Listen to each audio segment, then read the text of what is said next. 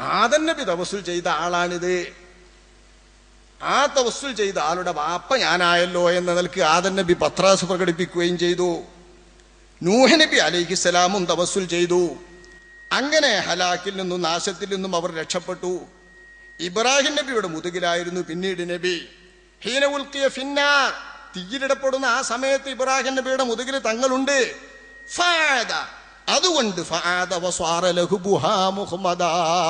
ഇബ്രാഹിം രക്ഷപ്പെടേണ്ടത് ആവശ്യമുള്ളതുകൊണ്ട് ഇബ്രാഹിം രക്ഷപ്പെടേണ്ടത് എന്തിനാണോ? ആ തിരുവൊളിവിനെ വഹിച്ചിട്ടുള്ള പേടകമായതുകൊണ്ട് അള്ളാഹു സുബാനുഹുവത്താല ഇബ്രാഹിം നബി അലൈഹി ഇസ്ലാമിനെ രക്ഷപ്പെടുത്താൻ തീയിനെ ശമിപ്പിച്ചു. അങ്ങനെ അതിന്റെ തീയ് അതിന്റെ ആളിക്കത്തലൊക്കെ അടങ്ങി പൊലിഞ്ഞുപോയി. ഇതിപ്പോ അഷറഫുൽ ഹൽക്ക് സല്ലല്ലാഹു അലൈഹി വസല്ലമ തങ്ങളെ മതിഹി ചെയ്യുമ്പോൾ ഏറ്റവും നല്ല മദഹ ആദ്യം സൃഷ്ടിച്ചത് നബിയുടെ ഒളിവ്. പിന്നീട് അവസാനം പ്രപഞ്ച ലോകത്തേക്ക് കൊണ്ടുവരുന്നത് മുഖത്തോടുകൂടെയുള്ള സുന്ദര മുഖത്തോടുകൂടെയുള്ള നബി. അങ്ങനത്തെ നബി മനുഷ്യവർഗത്തിന്റെ പിതാവ് ആദം അലൈഹിസ്സലാം എന്ന ആദ്യ പിതാവ് തവസ്സുൽ ചെയ്തയാളാണ്. ഒരു ജനതയിലേക്ക് നിയോഗിക്കപ്പെട്ട ആദ്യ മുർസലായ നൂഹനബി രക്ഷപ്പെട്ടത് അവിടത്തെ സഹായം തേടിയതുകൊണ്ടും അവിടത്തെ തവസ്സുൽ ചെയ്തതുകൊണ്ടുമാണ്. ഇബ്രാഹിം നബി അലൈഹിസ്സലാമിന്റെ മേൽ തീ രക്ഷയായിട്ട് ഭവിച്ചത് ആരംഭ നബി മൂലമാകുന്നു. ഈ വസ്തുതകൾ നബിയെ പ്രകീർത്തിക്കുന്നതിൽ ഏറ്റവും മുന്തിയ പ്രകീർത്തനാണ്. പക്ഷെ ഇത് അടിസ്ഥാനരഹിതമാണ് എന്നാ പറയുന്നത്. എത്ര തവണ ഇത് നമ്മൾ വിവരിച്ചിട്ടുണ്ട്?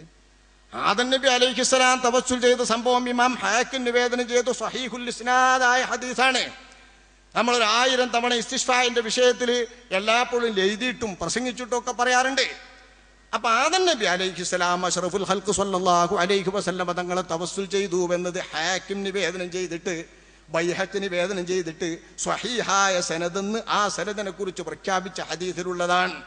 അപ്പൊ ആരം നബിയെ കൊണ്ട് തവസ്സുൽ ചെയ്തു? ആദൻ നബി അതുമൂലം രക്ഷപ്പെട്ടു. അതുമൂലം രക്ഷപ്പെട്ടു അറിയുമ്പോൾ കുറച്ച് പ്രയാസമുള്ളൂ. ഖുർആൻ റബ്ബന ലലംന അംഫുസന വഇല്ലം തഗ്ഫിർ ലനാ വതർഹംനാ ലനകൂനന്ന മിനൽ ഖാസിരീൻ എന്നാണ് കാല ആദൻ നബി ഹവ്വാ ബിവിയും പറഞ്ഞത്. അതിന്റെ പേരിൽ രക്ഷപ്പെട്ടു എന്ന് ഖുർആാനിൽ പറഞ്ഞിട്ട് അതിനെതിരാണ് നബിനെ കൊണ്ട് തവസു ചെയ്തിട്ട് രക്ഷപ്പെട്ടു എന്ന്. ഇതുവരെ ആയത്തൊന്ന് സംബന്ധിപ്പിച്ച് മനസ്സിലാക്കായിട്ടാണ്.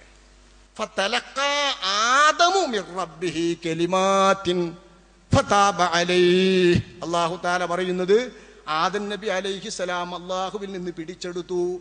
കെലിമാത്തിൻ ഏതാനും വാക്യങ്ങൾ ഏതാനും വാക്യങ്ങൾ ആദം നബി അലൈഹിസ്സലാം പിടിച്ചെടുത്തു. ഒരു മൂന്ന് വാക്യമെങ്കിലും പ്രയോഗത്തിന്റെ നില അനുസരിച്ച് വേണം ആദമു മിർറബ്ബിഹി കെലിമാത്തിൻ എന്ന് അള്ളാഹു താല പറയുന്നത് അർത്ഥവത്താകണമെങ്കിൽ വളരെ ചുരുങ്ങിയത് മൂന്ന് കലിമത്തുകളെങ്കിലും വേണം.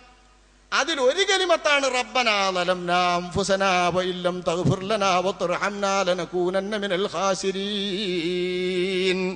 പടച്ചോനെ ഞങ്ങൾ ഞങ്ങളോട് തന്നെ അക്രമം ചെയ്തു. നീ പൊറത്തില്ലെങ്കിൽ ഞങ്ങൾ നഷ്ടപ്പെടും. കേട്ടോ പൊറുക്കണേ എന്ന് തേടിയത്. ഇത് തൗബയുടെ പശ്ചാത്താപത്തിന്റെ ഏറ്റവും ഉന്നതമായ രീതിയിലുള്ള പ്രാർത്ഥനയാണ്. മനസ്സറിഞ്ഞ പ്രാർത്ഥന. ഇതൊരു കെലിമത്താണ്. ഈ ഒരൊറ്റ കെലിമത്ത് അള്ളാഹു താല ഉപയോഗിച്ചത് കൊണ്ട് ചുരുങ്ങിയത് മൂന്ന് കലിമത്തെങ്കിലും ആദൻ നബി അലൈഹി ഇസ്ലാം പിടിച്ചെടുത്തു എന്ന് അള്ളാഹു പറഞ്ഞ ആ കലിമത്തിൽ രണ്ടെണ്ണം ഇനി വേറെ കിട്ടണ്ടേ? അന്ന ചുരുങ്ങിയത്? രണ്ടെണ്ണല്ല പത്ത് വരെ പോകാം. കലിമാത്ത് എന്ന് പറഞ്ഞാൽ ഒരു പത്ത് കലിമത്തുകൾ വരെ പോകാവുന്ന കലിമത്തുകൾ അള്ളാഹുവിൽ നിന്ന് ആദൻ നബി പിടിച്ചെടുത്തു എന്ന് അള്ള പറയുന്നുണ്ട്. അപ്പൊ അതിലെ ഒരു കലിമത്താക്കി പിടിച്ചോ? അള്ളാഹുവിന്റെ റസൂൽ പറഞ്ഞ ഹദീസ് മുഹമ്മദ് മുഹമ്മദിന്റെ ഹക്ക് കൊണ്ട് ഇല്ലാമാ എനിക്ക് പുറത്തു തന്നെ തരണം പഠിച്ചോനെ എന്ന് ആദൻ നബി അലൈഹിസ്സലാം ഇഖ്സാമിന്റെ സബിയിൽ ആണയിട്ട രീതിയിൽ ആദൻ നബി അലൈഹിസ്സലാം തവസ്സുൽ ചെയ്തു പ്രാർത്ഥിച്ചു. അപ്പൊ അല്ല മുഹമ്മദ് എവിടുന്നേ കിട്ടിയെന്ന് ചോദിച്ചു. അങ്ങനെ അർഷിന്റെ തൂണുമ്മ കണ്ടിട്ട് കിട്ടിയതാണ്. അപ്പൻ എന്നോട് ഏറ്റവും ഇഷ്ടപ്പെട്ട പേരല്ലാതെ നീ ചേർക്കൂല എന്ന് മനസ്സിലാക്കിയിട്ട് നിനക്കേറ്റവും ഇഷ്ടപ്പെട്ട ഹൽക്ക് മുഹമ്മദാണെന്ന് മനസ്സിലാക്കിയാണ് ഞാനിങ്ങനെ അത് കണ്ട് തവസ്സുൽ ചെയ്ത് എന്ന് പറഞ്ഞ് ശരിയാണ്. അവരെന്റെ സൃഷ്ടിയാണ് ഏറ്റവും തിരിച്ചപ്പെട്ട സൃഷ്ടി. ലൗലാഹുമാ ഖലഖ്തുക ആ മുഹമ്മദ് ഇല്ലെങ്കിൽ ആ മുഹമ്മദ് വരാൻ നിശ്ചയമില്ലെങ്കിൽ ആ മുഹമ്മദിന്റെ ബാപ്പയാകാൻ നിയോഗമില്ലെങ്കിൽ നിന്നെ ഞാൻ സൃഷ്ടിക്കുകയില്ലായിരുന്നുവെന്ന് അള്ളാഹു താല പറഞ്ഞുവെന്ന് റസൂലുള്ളാഹി. അള്ളാഹുവിന്റെ റസൂൽ പറഞ്ഞ വാചകം ഹാക്കിൻ നിവേദനം ചെയ്ത ഹദീസ് ഹാക്കിം നിവേദനം ചെയ്ത ഹിജ്റയുടെ നാനൂറുകൾ തൊട്ട് ഇന്ന് വരെയും നമ്മുടെ മുഹദ്ദുസുകൾ ഉദ്ധരിച്ചു വരുന്ന ഹദീസാണ്. നമ്മുടെ ഫിഖിന്റെ മസലകൾ വിവരിക്കുമ്പോൾ പോലും ഉദ്ധരിച്ചിട്ടുള്ള ഹദീസാണ്. അപ്പൊ സ്വഹീഹായ ഹദീസ് എന്ന് ഹദീസിന്റെ പണ്ഡിതന്മാർ നിരൂപിച്ചിട്ട് റിപ്പോർട്ട് ചെയ്തവർ തന്നെ ഒരു നിരൂപകനാകുമ്പോൾ ആ നിരൂപകൻ നിരൂപിച്ചിട്ട് സ്വഹീഹായ സനതുള്ള ഹദീസ് എന്ന് പറഞ്ഞതിൽ ആദൻ നബി തവസ്സുൽ ചെയ്തതുണ്ട്. ആദൻ നബി തവസ്സുൽ ചെയ്തിട്ട് രക്ഷപ്പെട്ടത് അതുകൊണ്ട് സമ്മതിക്കാം. വകാന ഫീ സുൽബിൽ ഹലീലി ഇബ്രാഹീം ഇബ്രാഹിം നബി അലൈഹിസ്സലാം രക്ഷപ്പെട്ടതും നൂഹ നബി അലൈഹിസ്സലാമിന്റെ പേടകൻ രക്ഷപ്പെട്ടതും അള്ളാഹുവിന്റെ റസൂൽ മൂലം കിട്ടിയ സഹായമാണ്. അള്ളാഹുവിന്റെ റസൂൽ മൂലം കിട്ടിയതാകുന്നു. അതാണ് ഇപ്പൊ ഇതിൽ ആശയം. വസ്തകാസ ബിഹി എന്ന് പറയുമ്പോൾ പേടിച്ചൊന്നും വേണ്ട. വസ്തകാസ ബിഹി. ആദൻ നബി അലൈഹിസ്സലാം ചെയ്തതുപോലെ നൂഹ നബി അലൈഹിസ്സലാമും അള്ളാഹുവിന്റെ റസൂലിനെ കൊണ്ട് സഹായം തേടി. അള്ളാന്റെ റസൂലിനെ കൊണ്ട് സഹായം തേടിയിട്ട് സകല പ്രവാചകന്മാരും വന്നിട്ടുണ്ടെന്ന് മുഫസ്സിരിങ്ങൾ രേഖപ്പെടുത്തിയിട്ടുണ്ട് പല തഫ്സീറുകളിലും. പല തഫ്സീറുകളിലുമുണ്ട്. മഹാനായ നൂഹ നബി അലൈഹി ഇസ്ലാം ഇബ്രാഹിം നബി അലൈഹി ഇസ്ലാം തുടങ്ങിയുള്ളവർ രക്ഷപ്പെട്ടതിന്റെ കാരണവും ആരംഭ നബിയുടെ തിരുവൊളിവാണെന്നും ആരംഭ നബി മൂലമാണെന്നും ചരിത്രഗ്രന്ഥന്മാരും ഇമാമുകളും രേഖപ്പെടുത്തിയിട്ടുണ്ട്. സഹീഹുൽ ബുഖാരിക്ക് വ്യാഖ്യാനം എഴുതിയ മഹാനായ പണ്ഡിതൻ ബഹുമാനപ്പെട്ട ഇമാം കസ്തല്ലാനി തന്റെ മവാഹിബിൽ ആദൻ നബിക്ക് രക്ഷപ്പെട്ടതും ഇബ്രാഹിം നബി രക്ഷപ്പെട്ടതും നൂഹ് നബി അലൈഹിസ്സലാം രക്ഷപ്പെട്ടതും അഷ്റഫുൽ ഹൽക്ക് സല്ലാഹു അലൈഹി വസല്ലം തങ്ങൾ നിമിത്തമാകുന്നു എന്ന് വ്യക്തമാക്കിയിട്ടുണ്ട്.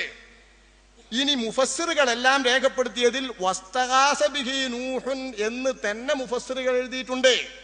ആ മുഫസ്സറുകൾ എഴുതിയതാണ് ഞങ്ങൾ ഉദ്ധരിക്കുന്നത് എന്ന് നബിനെ കൊണ്ട് തവസ്സുൽ ചെയ്യുന്നതിനെ വിശദീകരിച്ചു കൊണ്ടുള്ള ഇമാമിയങ്ങൾ അവരുടെ ഗ്രന്ഥത്തിൽ ഉദ്ധരിച്ചിട്ടുമുണ്ട്. ഉദാഹരണമായി അത്തവസ്സുൽ എന്ന അബു മർസൂഖ് എന്നവരുടെ കിതാബ് നോക്കിയാൽ അതിന്റെ നൂറ്റി എൺപത്തി ഏഴാമത്തെ പേജിൽ മുഫസ്സിരിങ്ങൾ പറഞ്ഞതിനെ അടിസ്ഥാനമാക്കിയാണ് ഞങ്ങളിതൊക്കെ ഉദ്ധരിച്ചു വരുന്നത് എന്ന് പറഞ്ഞിട്ടുണ്ട്. ഈ വിധം മങ്കൂസ് മൗലിദിന്റെ രചയിതാവിനും അതിന് മുൻപുള്ള മൗലിദുകളുടെ രചയിതാക്കൾക്കും അഷ്റഫുൽ ഹൽക്ക് സൊല്ലാഹു അലൈഹി വസല്ല മതങ്ങളെ കൊണ്ട് നൂഹ നബി സഹായം തേടിയിട്ട് രക്ഷപ്പെട്ടുവെന്നും ഇബ്രാഹിം നബി അള്ളാന്റെ റസൂലിന്റെ മുതുക് പേറിയതുകൊണ്ട് റസൂലിന്റെ ഒളിവ് പേറിയതുകൊണ്ട് തങ്ങൾ രക്ഷപ്പെട്ടുവെന്നും പറയുന്നതിന് പന്തികേടൊന്നുമില്ല. ബുദ്ധിപരമായി ചിന്തിച്ചാൽ തന്നെ അത് ഉറപ്പല്ലേ? ആദൻ നബിന്റെ ശേഷം നൂഹനബിന്റെ മുതുകിലാണ് അള്ളാന്റെ റസൂലിന്റെ ഒളിവ് വന്നെങ്കിൽ ഈ ഒളിവും പേറി നിൽക്കുന്ന നൂഹനബി അലൈഹിസ്സലാമിന്റെ മുതുകിൽ നിന്ന് ആ ഒളിവ് മറ്റൊന്നിലേക്ക് പോകാതെ ഇതൊരിക്കലും നൂഹനബി അലൈഹിസ്സലാമിന്റെ മരണം ഉണ്ടാവില്ല ഇതങ്ങനെയാണ് പ്രവാഹം. അള്ളാന്റെ റസൂലിന്റെ ഒളിവ് പോരാതെ നൂഹനബിയുടെ മരണം ഉണ്ടാവില്ല സൃഷ്ടിപ്പിന്റെ രഹസ്യം നമുക്ക് അടിസ്ഥാനപരമായി മതത്തിൽ നിന്ന് കിട്ടിയാൽ ആ വ്യവസ്ഥിത പ്രകാരമുള്ള ഒഴുക്ക് അനുസ്യൂതം ആബായിൽ നിന്ന് പിതാക്കളിൽ നിന്ന് മാതാക്കളിലൂടെ ഒഴുകുന്നത് ബീജങ്ങളിലൂടെയാണ് എന്ന് മനസ്സിലാക്കിയാൽ നൂഹനബിന്റെ മുതുകിൽ കിടക്കുന്ന ബീജത്തിലും ഇബ്രാഹിം നബിന്റെ മുതുകിൽ കിടക്കുന്ന ബീജത്തിലും അള്ളാഹുവിന്റെ റസൂൽ എന്ന അവരുടെ ഓമന പുത്രന്റെ ബീജമുണ്ടല്ലോ. ആ ബീജം അതിന്റെ സ്ഥാനത്തേക്ക് ചലിക്കാതെ ഈ രണ്ട് പ്രവാചകന്മാർ മരിക്കൂല. തീയിലിട്ടിട്ട് കാര്യമല്ല തീയിലിട്ടാലും മരിക്കൂല. അപ്പൊ നബിയുടെ ഒളിവ് ആഹിർ സമാനിൽ പടക്കാൻ പോകുന്ന നബിയുടെ ഒളിവ് പേറുമ്പോ ആ നബിയുടെ ഒളിവ് പേറിക്കൊണ്ടിരിക്കുന്ന ആളെന്ന നിലയ്ക്ക് തന്നെ രക്ഷപ്പെട്ടു ഇബ്രാഹിം നബി അലൈഹി എന്ന് മനസ്സിലാക്കുന്നതിൽ ഈ ലോകത്തിന്റെ സിട്ടിപ്പിന്റെ വ്യവസ്ഥ മനസ്സിലാക്കുന്ന ഒരാൾക്ക് ആ അർത്ഥത്തിലും ശങ്കിക്കേണ്ടതില്ല. റിവായത്ത് തന്നെ വന്നിട്ടുണ്ടെന്നും ഇമാമുകൾ രേഖപ്പെടുത്തിയതെന്നും പഠിച്ചാൽ മങ്കൂസും അലിതിനെതിരെ ചാടി വീഴേണ്ടതുമില്ല. ഇത് കേൾക്കുമ്പോ ഇത്തരം ഹദീസുകൾ ഇത്തരം റിപ്പോർട്ടുകൾ ഇതൊക്കെ ലൈഫ. അല്ലെങ്കിൽ മൗതുവായി അല്ലെങ്കിൽ ലൈഫ് അല്ലെങ്കിൽ മൗതുവായി ഈ സോക്കേട് ആദ്യം മാറ്റണം ഇവിടെ ഈ വിഷയമായിട്ട് ബന്ധപ്പെട്ട്.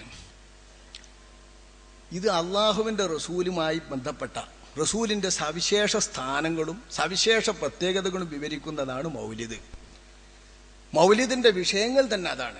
മൗലിദ് മൗലിദ് എന്ന് പറഞ്ഞാൽ ഞാൻ തുടക്കം പറഞ്ഞല്ലോ. നബിയുടെ ജനനവുമായി ബന്ധപ്പെട്ട ആ സമയത്തെ സംഭവങ്ങളും അത്ഭുതങ്ങളും വിവരിക്കുന്നത് കൊണ്ടാണ് ഇതിന് മൗലിദ് എന്ന് പേര് വരുന്നത് എന്ന്. അപ്പൊ വ്യക്തിത്വവുമായി ബന്ധപ്പെട്ടിട്ടുള്ള നബിയുടെ എല്ലാ പ്രത്യേകതകളും സവിശേഷകളും വിവരിക്കുന്നിടത്ത് അവിടെ തർക്കം ഉന്നയിക്കുക എന്ന് പറയുന്നത് തന്നെ ഒരു പിരാന്താണ് എന്നാ നമ്മുടെ പണ്ഡിയന്മാർ പറയുന്നത്. അതൊരു സോക്കേടാണ്. അതൊരു ജാതി സോക്കേട് തന്നെയാണ്. കാരണം ഒരസൂയന്റെ സോക്കേടുന്നേ ഇത് ഉത്ഭവിക്കുള്ളൂ. അല്ലാതെ വേറൊരു നിലക്കും ഇത് വരില്ല ഇമാമുൽ ഹർമൈൻ റതി അള്ളാഹു അൻഹുവിനെ ഇമാം നവവി ഉദ്ധരിക്കുന്നു. ഇമാമുൽ ഹർമൈൻ തങ്ങൾ പറഞ്ഞത് ഇമാം നവവി ഉദ്ധരിക്കുന്നു. രണ്ടാളും വൽപ്പം നമുക്ക് മനസ്സിലാവുമല്ലോ. അപ്പൊ ഇമാമുൽ ഹർമൈൻ തങ്ങൾ പറയുന്നു കാലൽ മുഹക്കിക്കൂൻ പരിണിതപ്രജ്ഞരായ പണ്ഡിതന്മാരൊക്കെയും പ്രസ്താവിച്ചിട്ടുണ്ട്. ദിക്റുൽ ഖിലാഫ് ഫി മസായിലിൽ ഖസായിസി ഖബുത്തുൻ ലാ ഫായിദത്ത